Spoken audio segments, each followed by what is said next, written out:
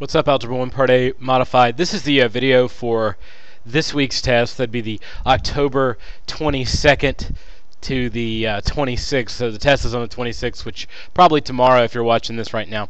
Uh, the name of the original paper that you should be getting these review questions uh, is, I think, entitled Inequalities Test Remix. So I thought I'd do some of the questions at the end of the section.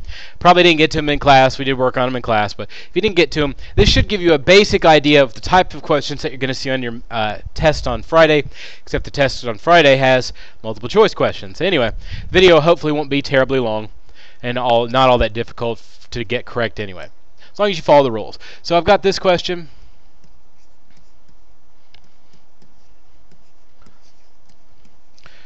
First thing I want to do, of course, is draw my line. Then I need to uh, look for Baby Go's bathroom. There's not any here. Then I'm going to clean my room. I do have like terms on the same side over here. So 2 plus 6 gives me 8. Bring down my negative 5x. Then it's sort of like pork chops and applesauce, so I'm going to move my 5x over or get rid of it on the right side by adding 5x. These cancel, and so do these. So what I'm left with is 8 and 8. I'm going to bring down my inequality because I haven't done anything to make me flip it over. It says 8 is greater than 8. Well, 8 can't be greater than 8, so this would be a statement that is a lie. And thus my answer is no solution. There will be a couple, uh, or I think a few anyway, no solution, all real numbers questions on tomorrow's test or on Friday's test, whatever day you happen to be watching this. Um, let's look at another one. Number 26 is the one I'm going to go to next. And by the way, just to show that answer is no solution, there it is. So this is number 26. We have in this question or statement. I'm hopefully going to increase the size of the pen just a little bit so it's not so small. My handwriting is lousy enough anyway. I try to hide it a little bit. There you go. That's a little better. Um, now, for this question, we have an OR question, which means we're going to have uh, compound inequality. So I've got this thing going for me right here. Uh, now all I need to do is solve both inequalities separately and then come back to make one final combination graph for both. I'm going to write the first one down. I'm going to write the second one down. We don't have to do any weird cat dog thing on this one because it's uh, it has the or in the middle. It's just have to remember that they're separate. Now, I'm going to draw a line down the left side. I'm going to get rid of my plus 9x by subtracting 9x. We're at pork chops and applesauce already. These cancel. 10 minus x is x. Bring down plus 3. Bring down minus 8. I need to get rid of plus 3, so I'm going to subtract 3 x and negative 11. Now, this is not a division in the last step, it's just a subtraction. So I don't have to do anything weird with the inequality, just bring it down. On the other side, I'm going to remove minus 4x by adding 4x because we're already at pork chops and applesauce. There's no baby goes bathroom here. There's no clean your room. There's uh, just straight to pork chops and applesauce. You can tell because we have x's on both sides and only two terms. Um, negative 3x plus 4x gives me 1x from here, I need to get rid of minus 8, so I'm plus 8. These cancel. Uh, negative 5 plus 8 is 3. There's no division or multiplication in the last step, so I just keep it. So x is greater than 3, x is less than negative 11. I just need to graph this. By the way, this is an OR statement. Um, so I'm going to go down to negative 11, which is in this general vicinity right here. I need to decide whether I need to fill it in or unfill. There's no line underneath, so I don't need to fill it in. And x is next to the little end, so I'm going to go to the left to show all numbers less than negative 11, because x is less than negative 11. On the other side, I have x at 3, so I'm going to go to 3, which is somewhere right in this general area. And then I'm going to look for x being next to the greater end, so x goes up to the right, right here. So this should match the final answer that's been given to me. And let's see if it does. Yes, that's exactly the match that I wanted it to be. So let's look at another one. The next one we're going to do is 29. Here it is. This is one of those cat dog things because I've got two inequalities. So I'm going to go ahead and use my highlight marker and highlight in this middle section. Then I'm going to make sure that I write down that part two times. Try to make this thing a little bit bigger. Is that too big? trying to get my pen size nice. I'm just going to use this because there's a lot of stuff to write. So I'm going to write down the thing in the middle twice. So this would be the body of cat dog. Then I'm going to have one that shows the cat head, which is the part on the left, 2 plus 7x.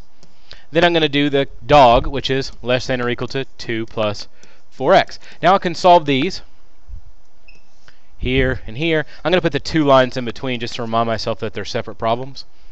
On the left side, of, uh, on the left equation, I guess, I'm going to get rid of plus 10x. To do that, I'm going to subtract 10x. I like to move my x's over to the left side for some reason. I think it's easier to graph them that way, but, you know, you don't have to. Bring down your 8. Now I need to get my get rid of plus 2. Remember, the 2 can't see this minus after it, so it's plus 2. To get rid of that, I subtract 2.